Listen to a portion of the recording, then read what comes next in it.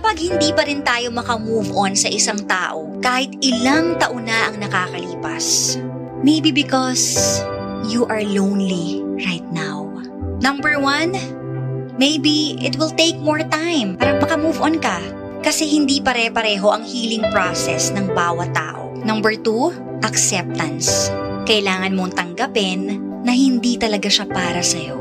At kung halimbawang nagkaroon ka na ng iba pero siya pa din, baka yung mga taong nakikilala mo, hindi talaga para sa'yo.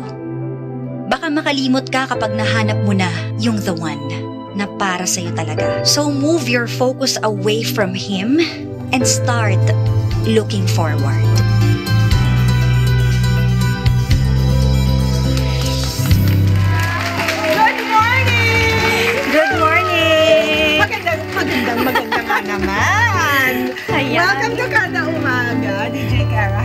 You today? Okay naman. Kamusta ang puso mo? Okay naman, parang bigla nga akong naging broken dahil sa mga naririnig kong kanta. Pero ang sarap pala talagang ma-in love, no? Oo. Mm, Oo yun. nga. Sige. masarap nga ba? Masarap at masakit. Yan, diba? masarap at masakit. Oo, eh. Hurt so good minsan eh. Correct. Araw-araw, no, DJ Kara, nag-dispense ka talaga ng love advice sa mga listeners mo. Yes, every day. Oo, hindi na ubusan.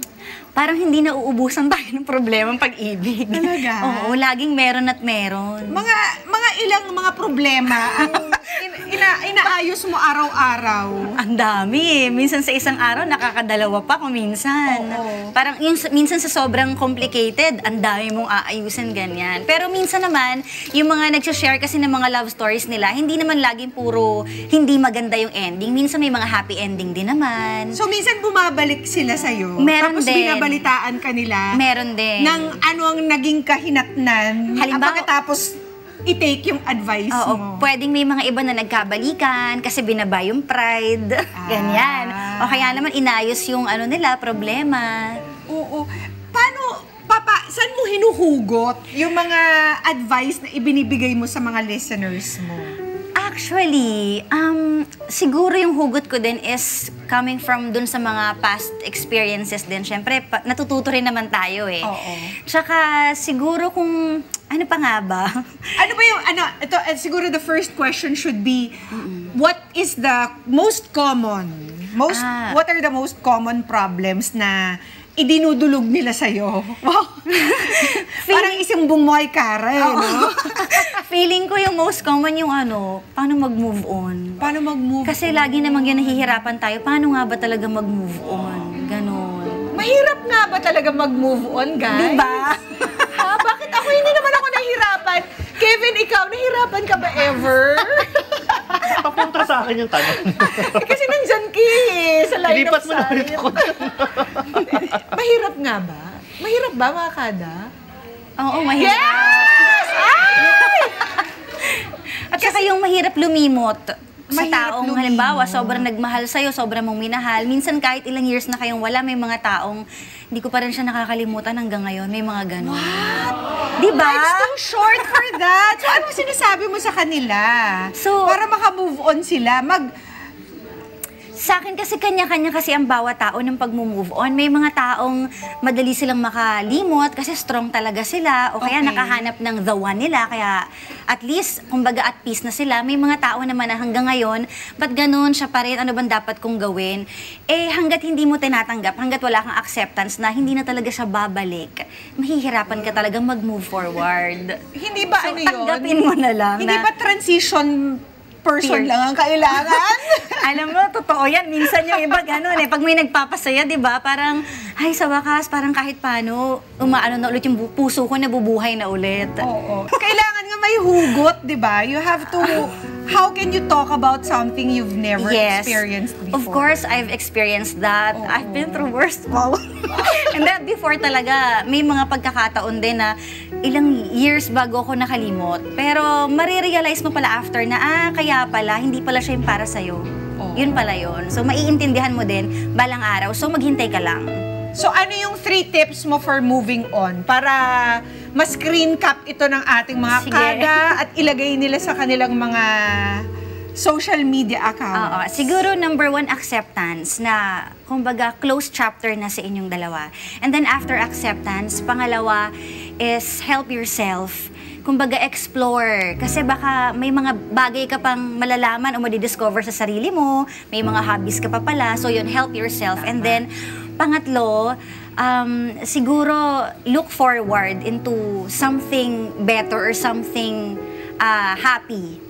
Yun. Kasi I think we need to all accept na lahat naman yan kahit masakit may purpose, 'di ba? Yes. Baka pinapatibay ka pa, baka hindi Pwede. talaga maganda tong lalaking to para sa So, Totoo. iwan na natin siya sa nakaraan. Yes. Time Leave it to all behind. look for better prospects. Correct. Prospects.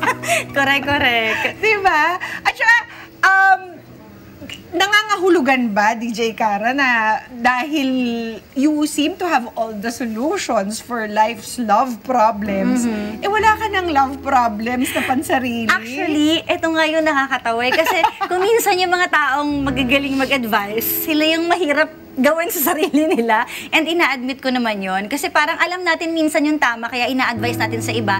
Pero pag sa sarili na natin, aminado din ako na ang hirap pala siyang gawin. Kaya kailangan ko rin pala ng someone na tatapik, oy, sobra na yan. Oy, tama We na yan. all need that person, Yes. ano, that so, kailangan pa rin, friend. yes, Oo. kailangan din natin ng help ng ibang tao talaga din. Ano naman yung pinakamalupit na problemang na na idulog sa'yo?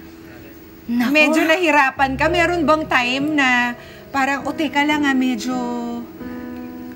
matindi na to eh. Pag, isa, pag-isipan ko muna kasi lalo na nga sa mga panahon ngayon, kapag masyado ng dark yung situation that they're in, you never know what they're going to do. So, medyo kailangan din eh, pag-isipan natin mabuti yung advice na ibibigay natin sa kanila. Baka mawala ng pag-asa, di ba? Siguro yung pinakamasakit is yung paghalimbawa, um, nalaman mo na may iba siya, tapos ikaw, tinatanggap mo at nagmamakaawa ka pa rin. Parang wala ka nang tinirang respect for yourself. Parang, sige, okay lang gawin mo sa akin lahat, basta wag mo akong iwan. Yun yung masakit, di ba? May mga ganon. Oo, may mga, Mga ganon. nagmamartir talaga. Oo. So, kailangan mong ipaintindi sa kanila na you are worth it, na huwag ka mag-settle for less. Kasi deserve mo na makahanap ng taong wala kang kahati. At ikaw lang. At hindi mo kailangan magmakaawa. Para Parang lang may sa hugot ka ba pagmamahal. dito? Wala akong Pero before, may mga past experiences kasi. So, I've learned from it na dapat hindi ka nagmamakaawa sa love kasi ang love kusang binibigayan. Oo. Yun. Oh, Di ba? It's okay. You can clap. Don't be shy. Nasasaktan na sila ng sobra. Okay lang po, baka meron po kayong gustong itanong kay DJ Kara habang nandito siya. Sabihin niyo lang po kay ah, Baby Carl. Di ba?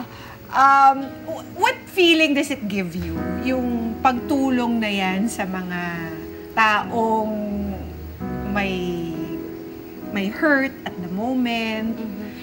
Um, nakakatuwa sa pakiramdam na kahit paano, parang friend ko na sila. Kahit di ko sila kilala, parang feeling ko, ah, connected kami, nakakatulong ako dun sa mga nahihirapan talaga. So, ayun, masarap siya sa pakiramdam. Oo. Yun.